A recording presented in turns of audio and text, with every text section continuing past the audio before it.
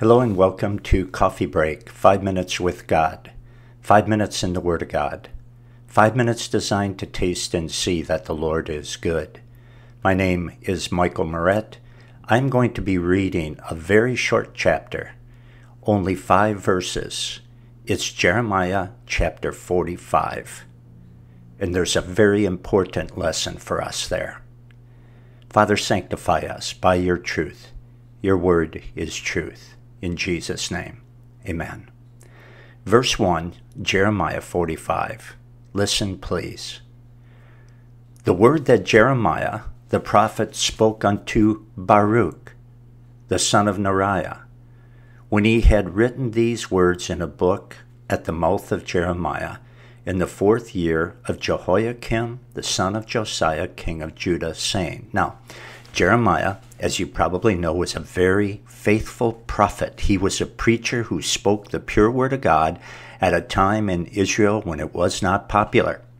And he was persecuted badly, and so was his partner, his assistant, Baruch. And so God has a word for Baruch. Verse 2 Thus saith the Lord, the God of Israel, unto thee, O Baruch.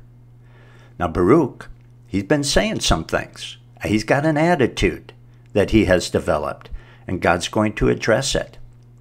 Verse 3 God says to Baruch, Thou didst say, Woe is me now. Oh, Baruch was starting to feel sorry for himself. Why?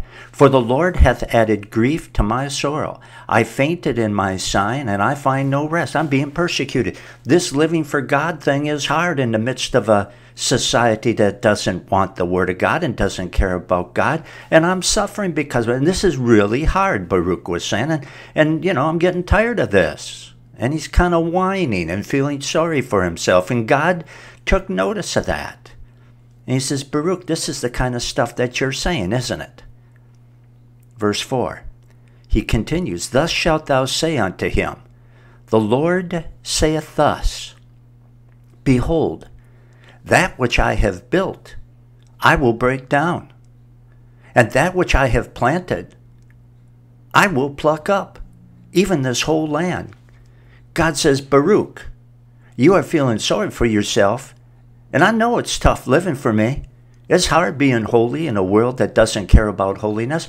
But God reminds uh, Baruch that he's going to have to punish his people, Israel, because they won't listen to Jeremiah and they won't listen to the word of God, and they continue in their sin, and they listen to the false prophets who tell them nice little sermons, nice little stories, happy, happy, happy. Everything is wonderful, everything is fun. You don't have to repent of your sin. That's what they were listening to and, and loving.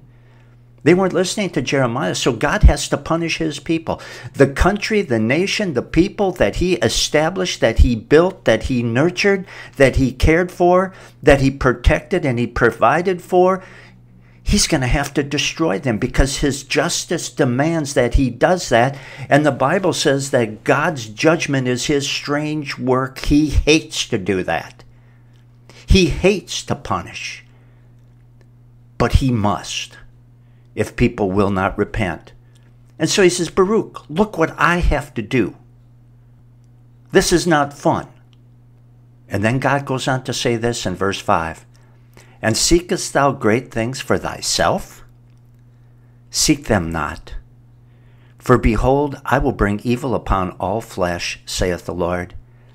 But thy life will I give unto thee for a prize in all places to which thou goest. Baruch, don't seek great things for yourself. You're seeking comfort and convenience and happiness and success and popularity in this world at this time. While I'm being left out in the cold by my own people, quit seeking great things for yourself. Quit being so self centered. And the lesson for us is this remember, we are not here. We Christians are not here for fun and games. We are not here to be playboys. We are not here to be playgirls. We are here to serve the Lord Jesus Christ, not to seek great things for ourselves. The great things will come as a result of being faithful to God, and they will come in eternity.